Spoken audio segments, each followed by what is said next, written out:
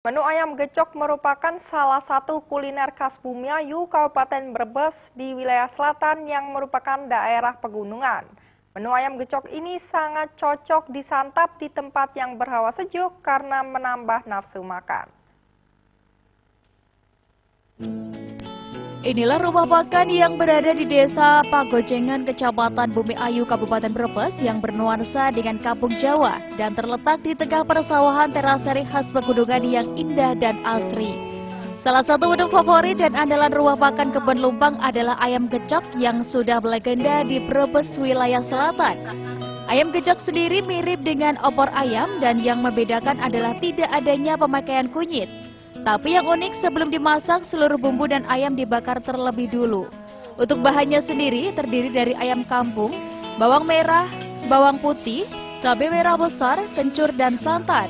Sedang cara memasaknya ayam yang sudah dipotong-potong kemudian dibakar terlebih dulu berikut bumbu-bumbu utamanya dan ditambah santan kental, salam, serai, irisan tomat, terasi, garam dan gula secukupnya sambil diaduk-aduk sampai merata. Rasilawati, salah satu karyawati rumah makan mengatakan rumah makan ini sangat berbeda dengan lainnya karena dikelilingi kebun dan pematang sawah khas pegunungan. Untuk menu andalannya yakni ayam gecok masakan khas Brebes Selatan. Dengan suasana seperti ini, berharap para pelanggan betah berlama-lama di sini karena bisa makan bersama keluarga sambil bertamasya menikmati alam sekitar ini ya maksudnya kan eh, masalahnya kalau di kebun lumpang kan beda dengan yang lain ya ini ada nuansa ya perkebunan seperti sawah terus perkebunan yang lain juga ada eh, kolam ikan nuansa-nuansa pegunungan Nah, untuk menu andalan di sini itu apa? Menu andalan di sini itu ayam gecok. Ayam gecok itu dari mana? Dari Brebes Selatan. Brebes Selatan. Iya.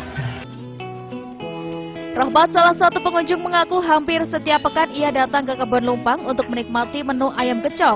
Menurutnya selain rasanya yang enak dan gurih, ayam gecok juga bisa menyehatkan badan.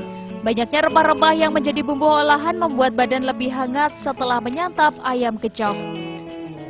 Ini adalah uh, makanan uh, jenis uh, ayam gecok. Ayam gecok itu ada rempah-rempahnya di situ, makanya uh, terasa banget termasuk ke dalam banget rasanya. Artinya di situ ada rasa jahenya kemudian di di samping kita itu bisa menikmati uh, makanan juga ada uh, kesehatannya. Karena di situ ada rempah-rempahnya. Kemudian di sini juga bisa makan sambil berwisata. Kan Selain menyediakan menu ayam gecok, beragam kuliner lain juga tersedia di rumah makan tersebut, termasuk aneka minuman dari teh manis, kopi, dan jus buah. Para pengunjung tidak usah khawatir soal harga, di rumah makan ini mematok harga yang bersahabat. Agus Supramono, Semarang TV.